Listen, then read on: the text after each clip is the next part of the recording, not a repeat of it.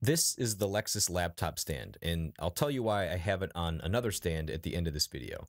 I like that it has six levels of adjustable height, and the kickstand in the front keeps the laptop from sliding off. There are two wings on either side of the stand that'll hold up your phone or your tablet, maybe a little too flimsy for a tablet. I wasn't able to fit my phone with a case on, I had to take it off for it to fit. But even then, when my laptop was on there, it's kind of hard to see the phone. I found that it's got to be completely flat in order for me to see the phone, so I don't use it that much.